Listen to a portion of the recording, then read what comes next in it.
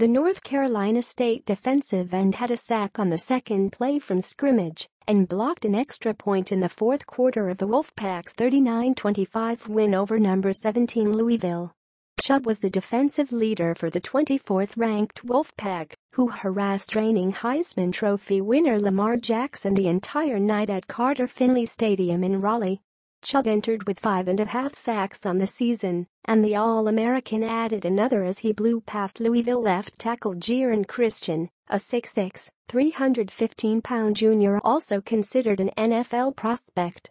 Thursday's game drew plenty of NFL talent evaluators to Raleigh, including Cardinals general manager Steve Keim Washington vice president of player personnel Doug Williams, Panthers interim general manager Marty Hurney and Eagles vice president of player personnel Joe Douglas.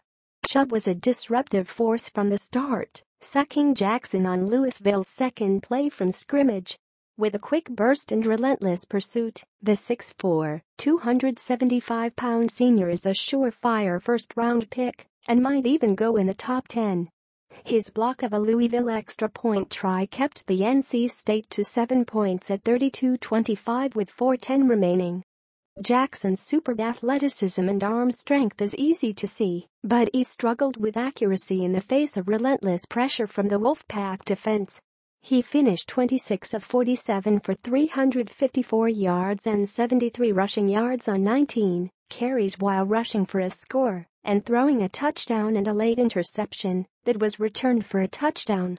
The 6'3", 211-pound junior became the first non-senior quarterback with over 7,000 passing yards and 3,000 rushing yards in a career. He's just the sixth quarterback to ever put up those numbers. Chubb and Jackson were the two marquee NFL prospects in Thursday's key ACC game, but there was another draft-eligible player who stood out. NC State junior running back Nyheim Hines, who is only 5'9", 197 pounds, was a dynamo with 18 carries for 102 yards and two touchdowns.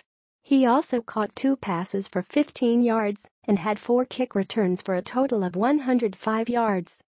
He had the play of the night, spinning away from two Louisville defenders to set up his second touchdown. While there's no guarantee he'll enter the draft in such a potentially deep year for running backs, Hines showed the burst, balance and elusiveness any team would love to have. There are still questions about Jackson's NFL projection, but there are absolutely zero doubts about whether or not Chubb will go in the first round of the 2018 NFL Draft.